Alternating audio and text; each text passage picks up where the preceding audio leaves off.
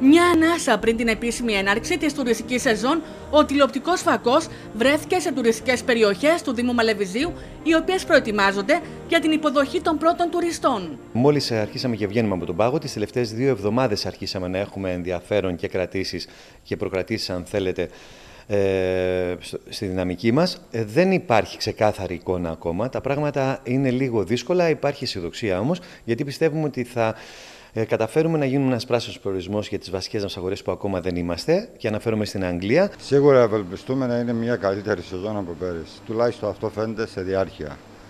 Τα νέα που ακούμε είναι ότι η σεζόν θα αρχίσει ουσιαστικά από μέσα του Ιούνιου και μετά. Για την Αγία Πελαγία δεν υπάρχει ορίζοντας ανοιχτός. Δηλαδή, εσείς βλέπετε αρχές Ιουνίου, μέσα Ιουνίου να ανοίγουν. Έτσι, έτσι, έτσι. Το Μάη εγώ δεν τον λαμβάνω υπόψη μου καθόλου. Ελπίζουμε και ευελπιστούμε ότι τέλος πάντων ένα τρίμηνο θα δουλέψουμε φέτος. Τα μηνύματα από πού, από ξενοδοχεία δεν ξέρουμε τίποτα. Πάνε όλα τέλος του μήνα και εμείς περιμένουμε.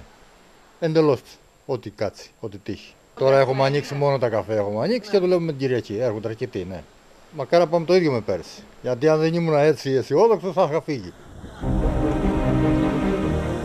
Επισκέπτες και πολίτες θα μπορούν να απολαύσουν τις καθαρές παραλίες καθώς απομακρύθηκαν σκουπίδια, καλάμια, φερτά υλικά και όχι μόνο με τις δράσεις καθαρισμού δρόμων, πεζοδρομίων και κοινόχρησων χώρων να εντείνονται.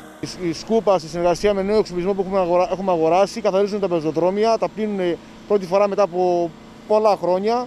Καθαρίστηκαν και οι παραλίες, καθαρίστηκαν οι ακτές. Με αποτέλεσμα όλων αυτών να έχουμε σαν Δήμος ε, δείξει μια εικόνα ε, καθαρή, μια εικόνα λαμπερή για την Αμουδάρα και για όλες τις περιοχές του Δήμου Μαλεβιζίου. Την καλοπίζουμε καθημερινά και είμαστε έτοιμοι να υποδεχτούμε τους επισκέπτες μας. Οι παραλίες έχουν στηθεί ομπρέλες, έχουν 15 του μήνα ξεκινάνε και οι ξαπλώστρες βασινόμου, έχουν μπει με όλα τα υγειονομικά πρωτόκολλα τα οποία αναφέρει ο νόμος τα 4 μέτρα από ομπρέλα σε ομπρέλα. Γίνονται απολυμάνσεις καθημερινά. Ο τηλεοπτικός φακός κατέγραψε τα κακό κείμενα στο τουριστικό θέρετρο της Αγίας Πελαγίας, όπως τη διαρροή νερού στην παραλία, αλλά και τις απαράδεκτες εικόνες που επικρατούν στο κανάλι Ομβρίων με τους επαγγελματίες να διαμαρτύρονται. Το πιο βασικό είναι το κανάλι. Και να αρχίζουν να οργανώνονται. Σκουπίδια και τέτοια. Να βάλουν καλαφάκια, να βγάλουν τα νάιλα από απέναντι.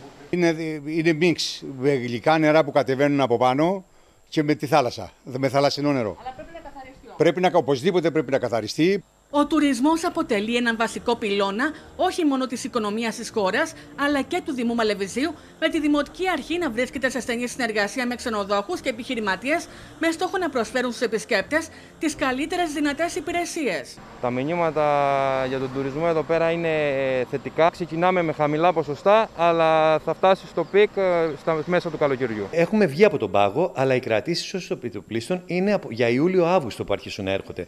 Θέλω να πιστεύω ότι είμαστε σε θέση και έχουμε την ατομική ευθύνη σαν λαός και σαν οντότητα να κρατήσουμε την ατομική μας ευθύνη πολύ ψηλά και να σώσουμε με τη φήμη που είχαμε πέρυσι και το, αυτό που έχουμε δημιουργήσει δεν θα χαθεί τόσο εύκολα. Την εμπιστοσύνη των επισκεπτών. Επαγγελματίες εκφράζουν την αισιοδοξία τους για τη φετινή τουριστική σεζόν, ωστόσο μέχρι στιγμής δεν έχουν ξεκάθαρη εικόνα για το πώς θα κυλήσουν τα πράγματα το αμέσως επόμενο χρονικό διάστημα.